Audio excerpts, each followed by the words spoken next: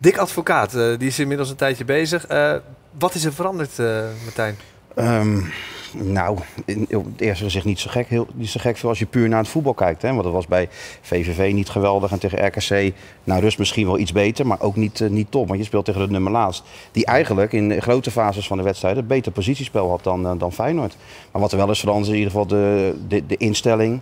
En het, de energie. En dat komt ook doordat Dick natuurlijk wat afdwingt bij die spelers. Ze zijn allemaal een Ja. beetje bang voor hem. Er is geen speler die gaat klagen. Jurgensen gaat niet vragen van... Je hebt geloof ik één keer gevraagd, moet ik wel op kunstgras?